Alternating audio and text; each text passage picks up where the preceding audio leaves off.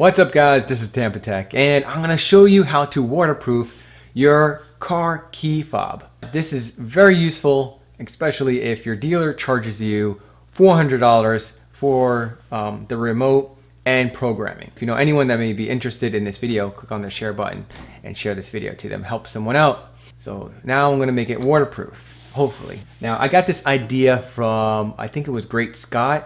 Um, he had like three ways to waterproof electronics. Uh, I'll leave that link in the video description below, give him some credit. Let's go ahead and take it apart first. So I'm gonna remove the key and then you put it right there in the slot. There's a little middle point and you can just twist and then pop it open. And that's how you replace the battery. Now, of course, you can't waterproof the contact for the battery and the contacts for the button. So keep that in mind. And we're gonna be waterproofing this side and this side. And we're gonna be using this clear coat for your um, nails. it's my wife's actually. And so you don't wanna um, put the clear coat on the contacts right here and here, the spring. And there's a leaf spring right here. You wanna avoid that. But I am gonna put a clear coat on that center base that you see.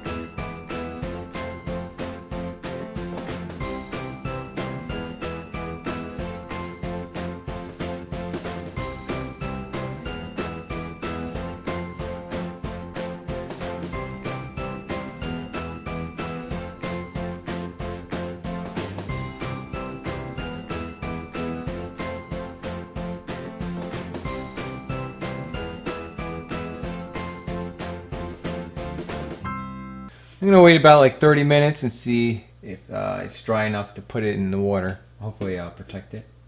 All right, so the moment of truth is here. Let's go ahead and put together.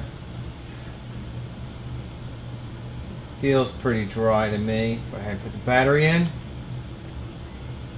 Yeah, so it looks like it's working. But let's see if it works in the water. So I'm gonna put this together. I think it goes this way. Close it up. Alright. I'm a little nervous. I hope I didn't break. This is 400 bucks. I'm really nervous actually. Screw it. For all for the sake of the video. Oh man, I don't want to do it. I don't know. Should I put this in? You know, I'll just put it in. Who cares? Alright, so I'm to put it in and hit the button and see if it does it. Oops.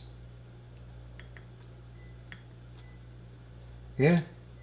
You can see that. Can you see the LED?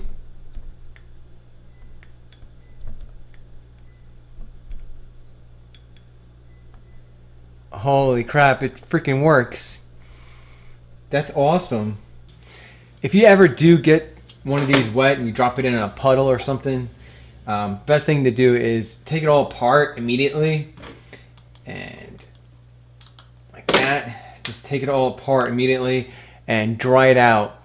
Uh, you, uh, you can use um, a hair dryer or a towel or something like that. And then if you see any water residue, make sure you use rubbing alcohol and a brush and clean off the water residue. and then let it dry for probably maybe like 15 minutes using a hair dryer and then put it back together and uh, it should work after that. I, I've done that with a phone. But I highly recommend getting one of these. It's a skin for your fob and that's just gonna protect it a lot better. And when you get the skin for your fob, make sure um, you get the ones that um, don't have an opening here. It's all sealed right here on the buttons. All right, so that's how you know it's working. I can hear the car beeping outside. So I'm gonna stick it in the water and looks, yeah, it works. It's all the way in the water. Awesome. And I don't see any bubbling or anything else. It looks pretty good. See? Let me turn on the light and show you.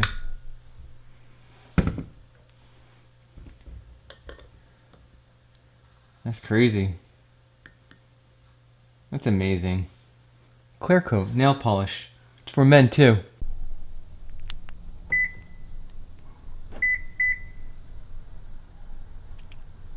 So if you guys found this video informative, give me a big thumbs up. If you want more how-to videos coming your way, click on the subscribe link right here or down below.